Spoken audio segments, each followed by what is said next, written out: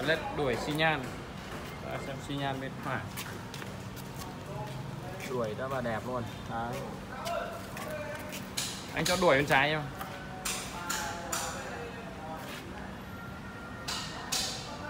Đuổi rất đẹp luôn.